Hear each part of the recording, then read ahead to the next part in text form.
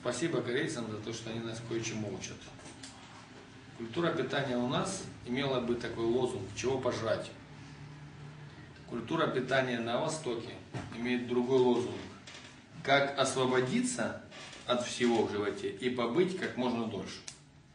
Мы думаем, и все вокруг, в средствах массовой информации, сосредоточено вокруг того, что покушать, что с чем сочетать, в какое время суток кушать, сколько кушать, и вообще там э, плохие продукты, хорошие продукты и так далее.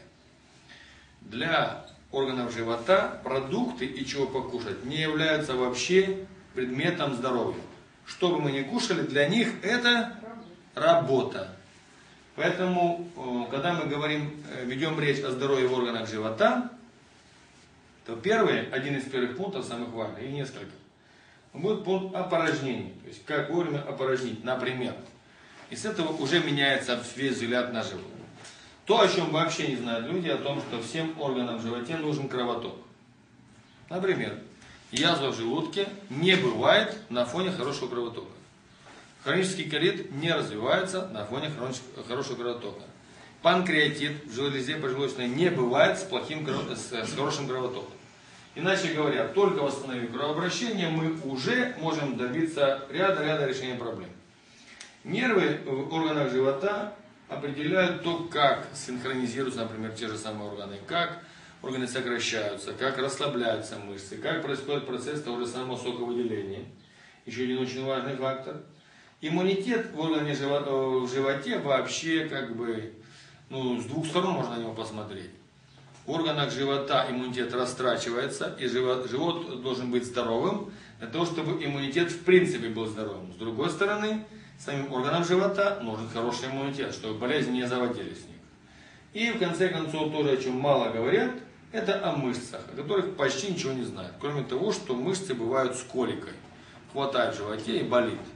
Но в работе мышц есть три проблемы, как минимум. Это спазм мышц, который надо убрать, несвоевременный, расслабление мышц, несвоевременное, и некоординированная деятельность мышц. Например, изжога является сугубо мышечной проблемой.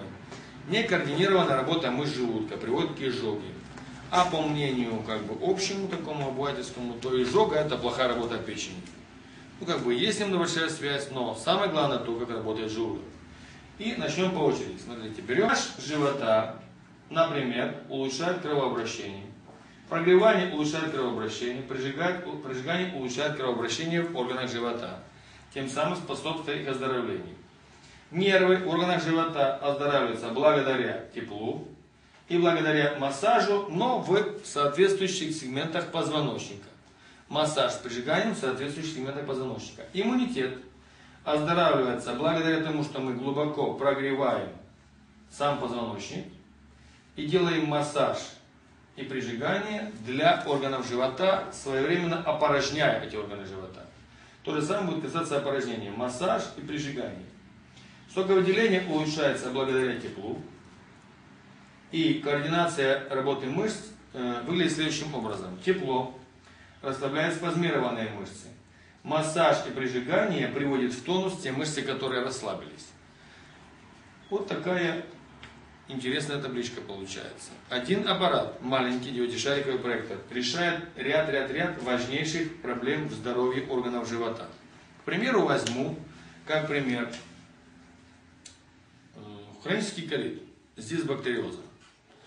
При лечении хронического колита с дисбактериозом необходимо своевременно добиться опорожнения кишечника Улучшить иммунитет, убрать плохие бактерии, добавить хорошие.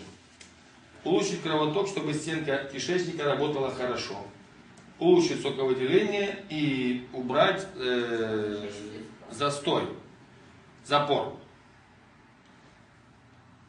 Вся система оздоровления при колитисе с бактериозом занимает не меньше 6 месяцев с эффективностью не больше 30%, с затратами сумасшедшими. Один проектор решает все сразу, без отравления, то есть не ядовитым способом, удобным способом, сколько хочу, сколько оздоравливаюсь. Как пример.